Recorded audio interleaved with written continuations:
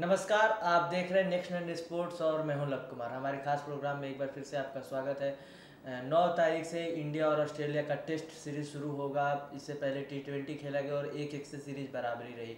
और हमने कल देखा कि स्मिथ और वार्नर की यहाँ पे ऑस्ट्रेलिया में वापसी हुई है। वो अपने खिलाड़ियों को प्रैक्टिस मैच करवा रहे हैं। वो खुद नहीं खेल सकते, उन पर बैन था।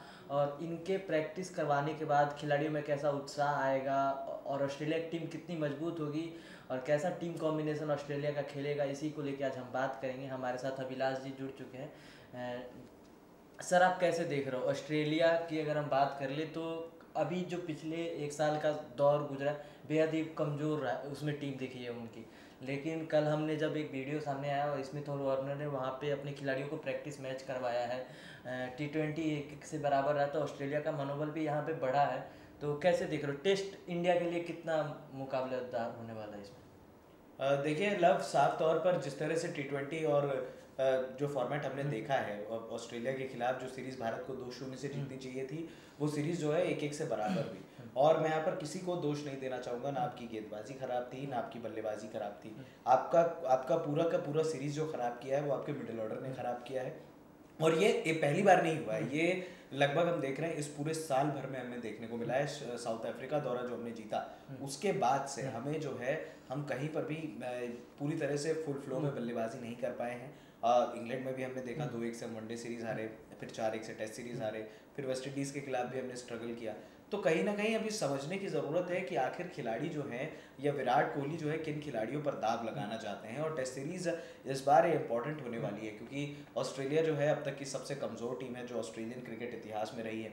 साथ ही जिस तरह से ऑस्ट्रेलिया की टीम जो है आगे बढ़कर चल रही थी और डेविड वार्नर और स्टीव स्मिथ थे जब तक, तब तक ये टीम स्ट्रांग थी। लेकिन बॉल टैंपरिंग विवाद के बाद से ये टीम अभी उठ नहीं पाई है और टिम पेन की कप्तानी पर भी सवाल उठ रहे हैं। तो कहीं ना कहीं सुनहरा मौका है अगर आप हराते हैं ऑस्ट्रेलिया को तो एक बहुत बड़ा भारत अचीवमेंट हासिल कर सकता है क्योंकि पिछले जितने भी अभी तक का ऑस्ट्रेलियन क्रिकेट का जो दौरा रहा है हम्म। भारत जब भी ऑस्ट्रेलिया गया है हार कर ही आया है हम्म। एक बार 2003 2004 दादा की कप्तानी में भारत जो है एक एक से सीरीज़ ड्रॉ करा के आया था तो मुझे लगता है कि इस बार चांसेस हैं लेकिन अगर यही मिडिल ऑर्डर की समस्या रहेगी के राहुल और हम्म। ऐसे खिलाड़ी खेलते रहेंगे तो साफ़ तौर पर इस टीम में कोई दम नहीं दिखेगा। के एल राहुल की आप बात कर रहे थे, जब इंग्लैंड दौरे पे गई थी टीम इंडिया तो वहाँ भी चार एक से सीरीज़ हार गई। वेस्ट वेस्ट इंडीज के साथ जब घर में खेल रहे थे तो यहाँ पे क्लीन स्वीप किया था अच्छा प्रदर्शन दिखा था, लेकिन आपको यहाँ पे होम ग्राउंड होने का फ़ायदा मिला था। लेकिन आप फिर से घर से बाहर हो, और मिडिल ऑर्डर की समस्या सेम है, क्योंकि आप टीम कॉम्बिनेशन सेम खिला रहे हो, और प्रेस कॉन्फ्रेंस में आप बात ज़रूर करते हो कि हमारा बैटिंग ऑर्डर कमज़ोर है। लेकिन जो बदलाव है, वो देखने को नहीं मिल रहा। तो आपको जब पता है कि हमारी कमज़ोरी कहाँ पे है लेकिन फिर भी आप वही गलती किए किए जा रहे हो बार बार कै, तो कैसे बदलाव आएगा इसमें? देखिए बदलाव तो लग नहीं रहा है लव क्योंकि विराट कोहली जो है वो उनके जो फेवरेट खिलाड़ी हैं वो उनको तो खिलाएँगे खिलाएँगे। अजिंक्य रहाणे खेलेंगे। हम्म। आपका प्लेइंग इलेवन भले प्रदर्शन हो या ना हो विराट को उनके साथ बल्लेबाजी करना पसंद है तो वो रहेंगे। हम्म। चेतेश्वर पुजारा को आप बाहर कर नहीं सकते क्योंकि तीन नंबर का आपके पास विकल्प नहीं है। लेकिन मैं ये देख रहा हूँ कि मतलब कई खिलाड़ियों का हम करियर भी बर्बाद कर रहे हैं जैसे करुण नायर को हमने बाहर से बाहर कर दिया इंग्लैंड हम्म। में उसके बाद मयंक अग्रवाल को वेस्ट इंडीज के खिलाफ सीरीज़ में लेके आया ठीक है एक टेस्ट मैच अगर राहुल फ्लॉप हुए थे हम्म। तो राहुल को आप बाहर करते ना भाई आपकी पूरी टीम जो खराब थी वहाँ पर इंग्लैंड में किसने मैच खराब किया आपके ओपनर्स ने मैच हाँ। खराब किया उसके बाद आपका पूरा का पूरा डाउन दी ऑर्डर खराब होता चला गया हम्म। तो यहाँ पर आपको अपने ओपनर्स में चाहिए मयंक अग्रवाल जो सौ की एवरेज से रन मार के बैठे हैं मयंक अग्रवाल को मौका क्यों नहीं दिया वेस्ट इंडीज सीरीज़ में? अभी वो देखिए न्यूजीलैंड इंडिया के खिलाफ खेले उनका फिर से प्रदर्शन बहुत अच्छा पृथ्वी शॉ को आपने डेब्यू करा दिया ठीक है। तो आप अभी भी ऑस्ट्रेलिया में अब और ऑस्ट्रेलिया दौरे की टीम में मयंक अग्रवाल को बाहर करके हाँ। मुरली विजय को ले आया गया।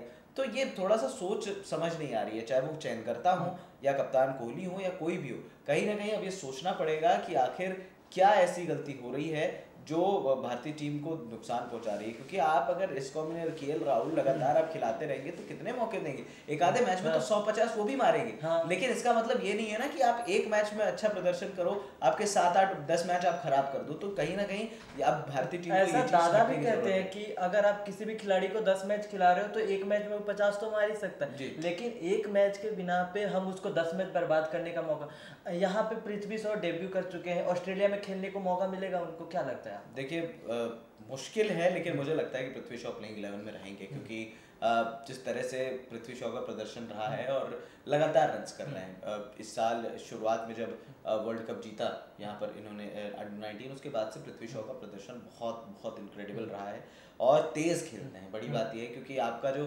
अपर ऑर्डर है धवन के जाने के बाद से बिल्कुल वीक पड़ गया था। और मुरली विजय समय लेते हैं के राहुल समय लेते हैं तो ये तेज़ खेल सकते हैं। तो पृथ्वी शॉ के आने से जो सामने वाला ओपनर है उस पर एक प्रेशर हटता है और मुरली विजय और के राहुल में से कोई एक खेलना चाहिए। अगर विराट इन दोनों को खिला देंगे मुरली विजय और के राहुल तो पृथ्वी शॉ के साथ नाइंसाफ़ी होगी। वैसे ज़्यादा चांसेस इन दोनों के खेलने के हैं मुरली विजय और के राहुल के अगर पृथ्वी शॉ को बाहर बिठाया जाता है तो ये भारत शायद अपने पैर पर कुल्हाड़ी मार लेगा यहाँ पे एक और खिलाड़ी है जो इसके बड़े समय के बाद रोहित शर्मा की वापसी हुई है। शिखर धवन रोहित शर्मा के दोनों को लेके बातें ऐसी होती रही हैं कि आप ओडीआई में अच्छे खेलते हैं टी ट्वेंटी में अच्छे खेलते हैं, फिर भी आप दोनों को टेस्ट में मौका नहीं देते हैं। शिखर धवन तो यहाँ पे भी उनको टेस्ट में मौका नहीं देगा, लेकिन रोहित शर्मा को इस बार दिया गया है। कैसे देख रहे हो? लंबे समय के बाद खेलेंगे और जब टी ट्वेंटी से पहले उनका एक वीडियो आया था, मीडिया से बात करते हुए उन्होंने कहा था कि मैं अभी टेस्ट पे उतना फोकस नहीं हूँ टी ट्वेंटी और ओडीआई पे फोकस हूँ। और ये सही भी, क्योंकि अगले साल वर्ल्ड कप होने वाला है। तो टेस्ट में वो कैसे आप देख रहे हो कि रोहित शर्मा इतने लंबे समय के बाद आएँगे तो कैसे खेलेंगे? नहीं ऐसा नहीं है। उन्होंने ये भी कहा था कि रेड बॉल क्रिकेट जो है ये एक डिफरेंट बॉल गेम होता है।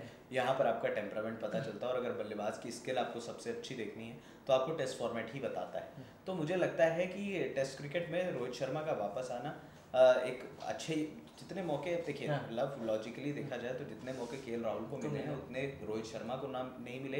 या बाकी खिलाड़ियों को भी नहीं तो मुझे लगता है कि जब के राहुल जैसे खिलाड़ी को मौके मिल सकते हैं ना तो आपको रोहित शर्मा को भी टीम में रखना पड़ेगा। एक समय था युवराज सिंह टीम के बहुत अच्छे खिलाड़ी थे हाँ। लेकिन वो टेस्ट में जगह पुख्ता नहीं कर पाए। हाँ। तो कहीं ना कहीं अब रोहित शर्मा को भी अपने गेम को समझना पड़ेगा। अगर आपको अपना टेस्ट करियर थोड़ा सा ठीक ठाक लेकर जाना है ताकि आप फ्यूचर में बता पाएँ तो रोहित शर्मा को भी प्रदर्शन करना पड़ेगा।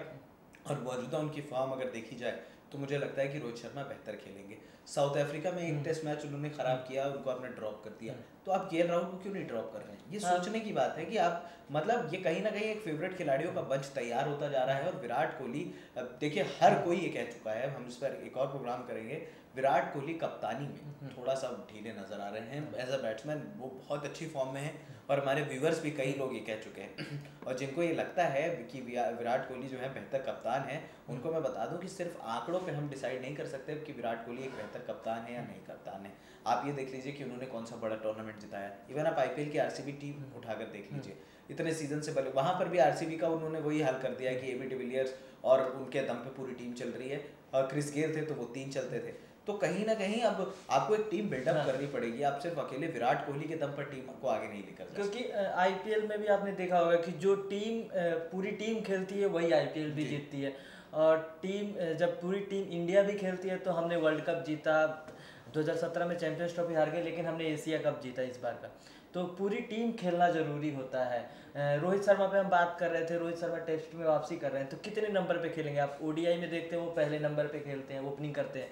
टी ट्वेंटी में भी ओपनिंग करते हैं। टेस्ट में ओपनिंग करेंगे या नहीं, नहीं, मिडिल ऑर्डर में ओपनिंग मेरे ख्याल से नहीं कराएँगे इनको और ओपनिंग करानी भी नहीं चाहिए। मुझे लगता है कि रोहित शर्मा के आने से एक मिडिल ऑर्डर को जो है संतुलन मिला है। हम्म। शायद भारत सात चार के कॉम्बिनेशन के साथ जाएगा इस मैच में क्योंकि आपके पास हम्म। चार गेंदबाज आपको खिलाने हम्म। पड़ेंगे एक आपका स्पिनर रहेगा। तो अश्विन या जडेजा में से कोई एक। करेंट फॉर्म को देखा जाए तो जडेजा की जगह है लेकिन अश्विन मेरे ख्याल में खेलेंगे पहला टेस्ट मैच क्योंकि थोड़ा सा सेफ़ जोन में जाएगा भारत। और तीन आपके पेसर जसप्रीत बुमराह ईशांत शर्मा भुवनेश्वर कुमार को मैं थोड़ा फिफ्टी फिफ्टी रखता हूँ। बुमराह ईशांत शर्मा और मोहम्मद शमी। मोहम्मद शमी ये तीन तेज गेंदबाज आपके खेलेंगे। यहाँ पर भारत एक एक्स्ट्रा बैट्समैन इसलिए खिलाएगा क्योंकि हम सब हम सबने देखा कि एक सौ नब्बे एक सौ पंचानवे हमसे नहीं बनेंगे। हाँ। तो बहुत इंपॉर्टेंट है कि गेंदबाज जो है अपने फ्री फ्लो को पकड़ें और जो है अपनी टीम को टेस्ट मैच जिता। क्योंकि हमारे गेंदबाजी हमारी दिक्कत नहीं है। हमारी दिक्कत है हमारी बल्लेबाजी और बल्लेबाजी में बहुत ज़्यादा दिक्कतों का सामना करना पड़ रहा है टीम इंडिया को। तो आपका अगर ओपनिंग के राहुल पृथ्वी शॉ करते हैं तो बेहतर है। या फिर मुरली विजय या पृथ्वी शॉ करेंगे वो भी तब भी बेहतर है। तीन नंबर आपका चितेश्वर पुजारा फिक्स है। चार नंबर विराट कोहली पाँच नंबर पर आपके जिंक्स अजिंक्य रहाणे और छः नंबर पर कहीं ना कहीं रोहित शर्मा। अगर रोहित शर्मा को नहीं खिलाते हैं फिर वही अपने पैर में कुलाड़ी मारने वाली बात की ऐसे खिलाड़ी जो आपकी पंद्रह में है और ग्यारह में नहीं है तो सोच की बात है। सात नंबर आपका ऋषभ पंत। तो ये आपके सात बल्लेबाज जो हैं वो टीम में खेलेंगे उसके बाद चार आपके गेंद चार गेंदबाजों के ऑस्ट्रेलिया टीम को आप कैसे देख रहे हो? यहाँ पे कमज़ोर टीम है वो भी अपने लगातार सीरीज़ हारती आई है। यहाँ पे एक एक से बराबरी किए हैं तो मनोबल उनका बढ़ा है और स्मिथ और वार्नर उनको प्रैक्टिस मैच करवा रहे हैं। तो और भी मनोबल उन एक्सपीरियंस खिलाड़ी हैं दोनों। तो कैसे देख रहे हो? इसमें वापसी कर सकते हैं ऑस्ट्रेलिया टीम? देखिए वापसी क्यों नहीं कर सकती है? ऑस्ट्रेलिया की गेंदबाजी जो है वो आपको मैच जिता सकती है। ऑस्ट्रेलिया की बल्लेबाजी आपको मैच नहीं जिताएगी। हालाँकि उस्मान ख्वाजा आयरन फिंच के आने से टीम में जो है वो एक संतुलन मिला है। टिम पेन है उनके पास मिशेल मार्श है शॉन मार्श है। तो टीम तो है ऐसा नहीं है कि टीम नहीं है इनके पास लेकिन अभी भी मैं कहूँगा कि कागज़ों पर देखा जाए तो भारतीय टीम ज़्यादा बेहतर नज़र आ रही है। अगर यहाँ पर इनकी हेजलवुड पैट कमिंस और मिशेल स्टार्क ये तीन की जो जोड़ी चल गई तो भारतीय टीम को ये फ्लो में उड़ा सकते हैं इनमें इतनी काबिलियत है। और ये जो लड़ाई होने वाली है ना टेस्ट क्रिकेट हाँ। में ये विराट वर्सेस स्टार्क की लड़ाई है। स्टार्क अपने पीक के खतरनाक गेंदबाज हैं विराट कोहली अपने चरम पर हैं। तो एक बहुत बढ़िया कंपटीशन देखने को मिलने वाला है। और मुझे लगता है कि स्मिथ और वार्नर को इसलिए लाया गया है कैंप में और एक स्टार्क ने भी खुलासा किया था कल खबर की थी मैंने कि हम सब जानते हैं कि विराट कोहली किस स्तर के बल्लेबाज हैं। अगर एक बल्लेबाज यहाँ है आज तो विराट कोहली यहाँ पर है। तो यहाँ पर ये समझने की बात है कि उनकी स्तर का बल्लेबाज जब आ, आपके सामने प्रैक्टिस करेगा तो शायद गेंदबाजों को मदद मिलेगी। इस वजह से स्टीव स्मिथ को बुलाया गया है, डेविड वार्नर को बुलाया गया है, क्योंकि ये लोग कहीं ना कहीं क्लोज हैं विराट कोहली के उस चरम के।